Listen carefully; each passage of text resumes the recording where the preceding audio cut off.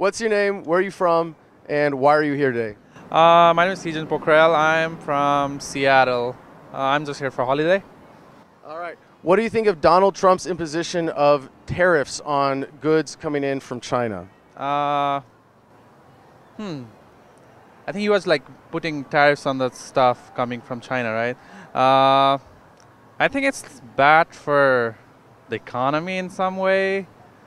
Yeah, I would need like more information on that because I'm not following much more news on that. But yeah, I think uh, there are a lot of uh, companies are like backing out from the deal. So because of that, like, I think uh, it's kind of hampering the economy in some way. I know.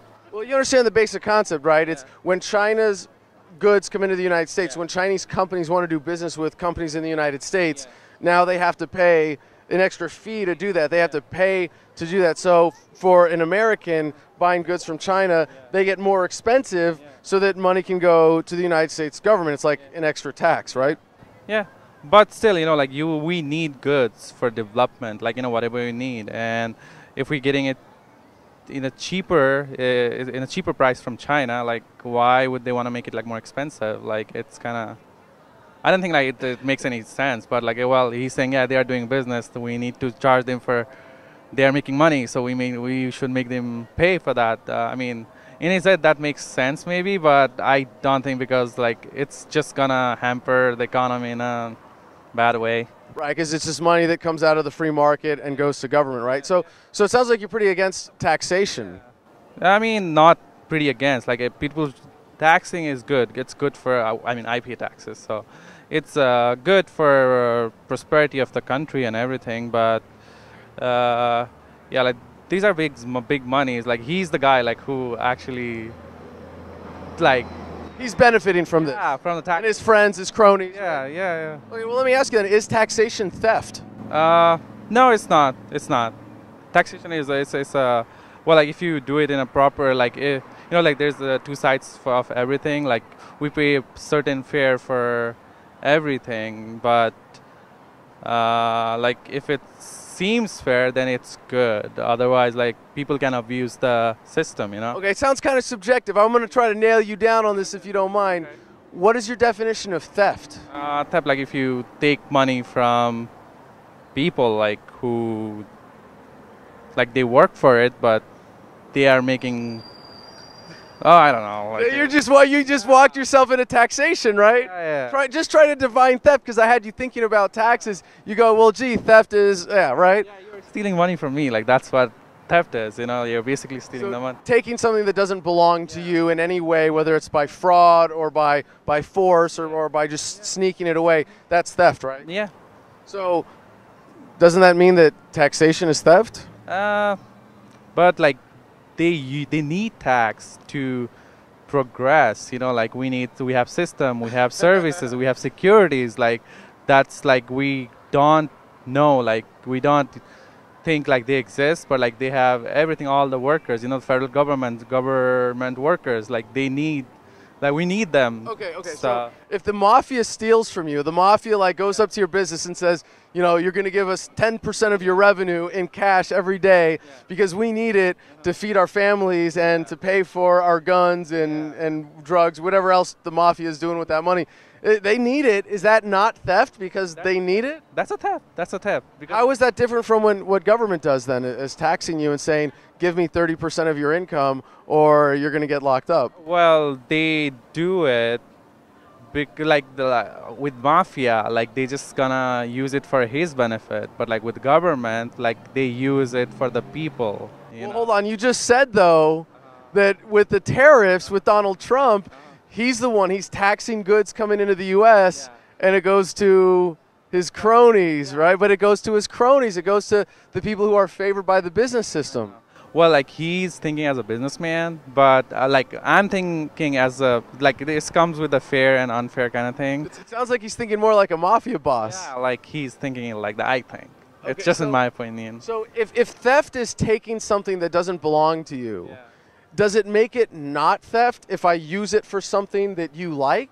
Uh, no, still. Still theft. Theft is a theft. theft yes, theft. theft. So that would mean that all government taxation is still theft, right? Like you really can't get out of the the irrefutable uh, you know reality of this. Yeah, well, well, that makes oh yeah, that makes it hard. That, that was great punctuation for just to interrupt your thought process. No, like yeah, like I if you put it that way, yeah, it is. But like, we need stuff. We need, we do definitely. But like, uh, I'm not against like taxation. Like, it's okay. Okay.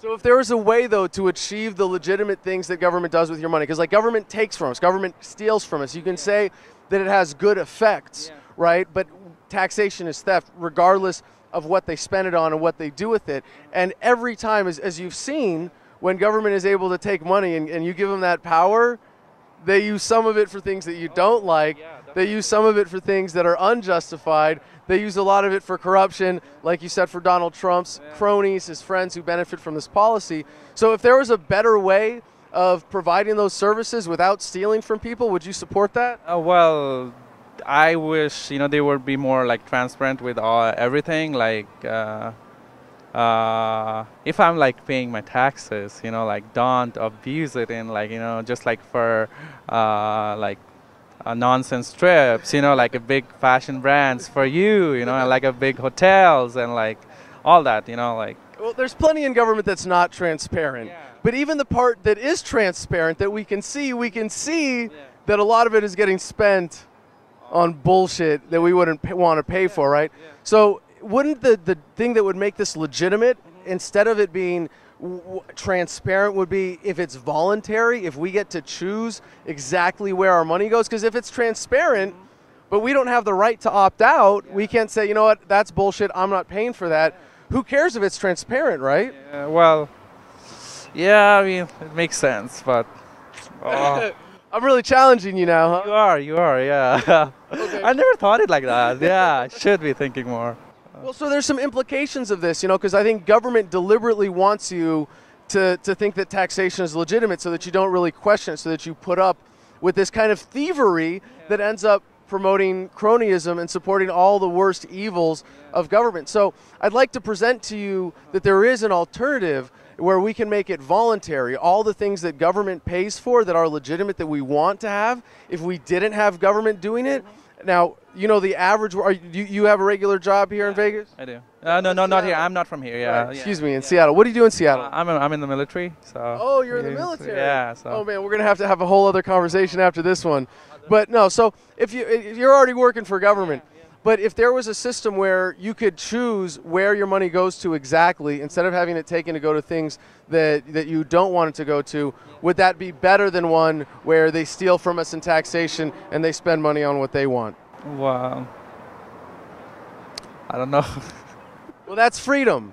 That's that's that's allegedly what you're you're part of the military to protect, right? And I hope you can recognize that that you've been fooled in a very big way to think that taxation isn't theft. And right away, as soon as I challenge you on that, you're able to see the reality. But I hope now that you can think through that and realize the implications, and that if we could get to a system where we can provide the things that government provides without the theft and respected our freedom, our right to, to, to, to own property and own the, the, the value of, of our income, the, the, the product of our labor, that we'd be a lot free, we'd be a lot better off as a country, right? yeah, yeah, definitely. Thank you to YouTube for hosting this video and for being an essential part of human progress by making video hosting available worldwide to everyone on the internet. However, the next phase in human progress is here with steemit.com and their video hosting alternative blockchain based solutions, including DTube. And you can find that through steemit.com as well as my own page there at Adam Kokesh. This is a decentralized blockchain based social media network that pays you fairly for your content. Already, I'm regularly making more there with a single post than I do from an entire month on YouTube. So please join us on the next frontier of the information revolution at steemit.com. And if you want help getting a leg up there, I'm happy to re-steem your posts and make sure that no one is starting from scratch. Just email me one of your favorite posts at adam at thefreedomline.com and we'll share it on my feed.